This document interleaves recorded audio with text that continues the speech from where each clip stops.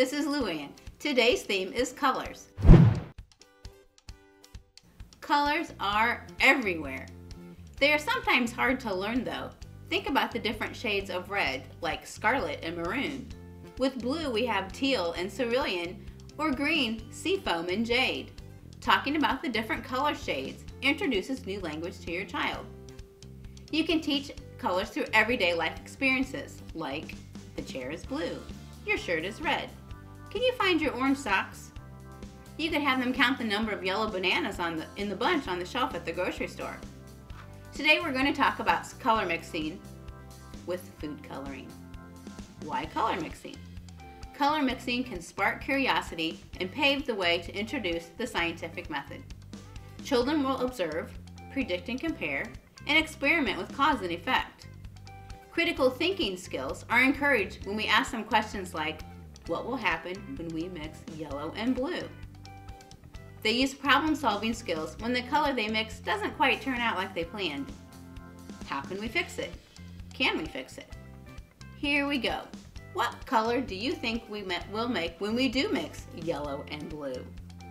Let's try it. We're gonna do a couple drops of yellow, two drops of blue.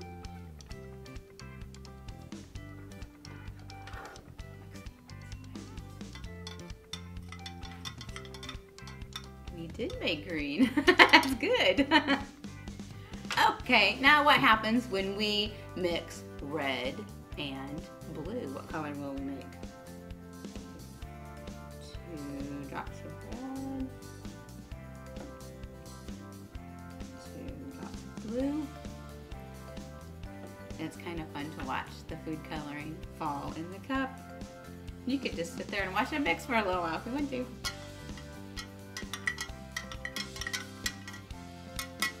Should be purple when you're done.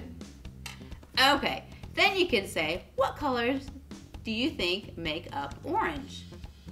Will green and blue make orange?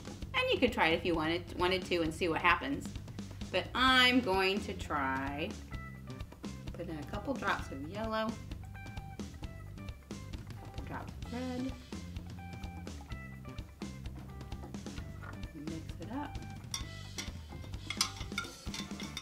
and we have our orange.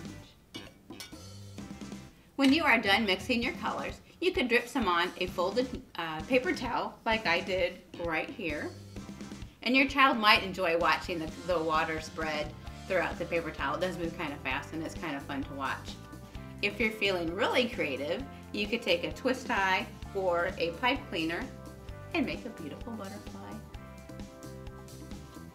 A couple of good books to read on color mixing is Mix It Up by Hervé Tullet and Mouse Paint by Ellen Stoll Walsh.